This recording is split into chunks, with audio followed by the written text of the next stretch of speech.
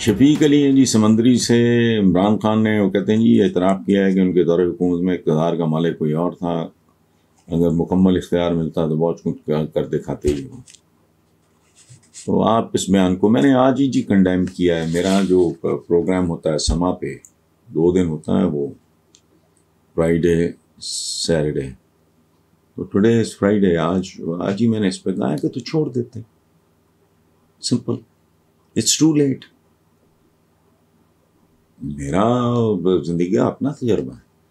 जहाँ रिस्पॉन्सिबिलिटी तय होगी, वहाँ अथॉरिटी तय होगी। नहीं तो रखो।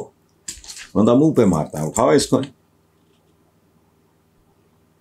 सो ये एक बुनियादी बात है। मैं मसलन ये हुआ था, मैंने कहा, मुझे आई नीड कंप्लीट मुकम्मल hundred percent authority fire fire, हर चीज़ मैं करूँगा। अगर मैंने ये अखबार संभालना है तो मैं करूँगा। वरना ऑफ़र तो तुम लेके आए हो भाई। तुम चाह रहे हो ना, मैं तो नहीं चाह रहा ले जाओ अखबार, मैं नहीं करता। खत्म। तो ना करो। चूँकि ये एक गाड़ी कहते हैं ना कि जी, औरत और मर्द गाड़ी के दो पहिए वगैरह वगैरह। इसी तरह रिस्पॉन्सिबिलिटी और अथॉरिटी ये दोनों साथ साथ हैं, ये लाजम मलजूम है। कोई भी आदमी इमरान का तो माशाल्लाह इतना एक्सपोजर है। उसे भी ये सब कुछ पता होगा, उसका तालीमी बैकग्राउंड बड़ा अच्छा है।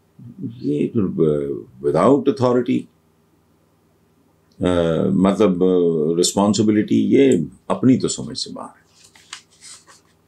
मैं तो ज़िंदगी में दूसरा जुमला ना सुनूं दूसरे बंदे का। टेक ओवर से पहले कहो, भाई, ये अपने अपने एरियाज़ की बात, अपना सारा सिलसिला वो जो है ना, वो मेरे साथ बैठ के तय कर लो। करना है हलफ उठाते हैं। नहीं तो छोड़ो, किसी और को पकड़। लो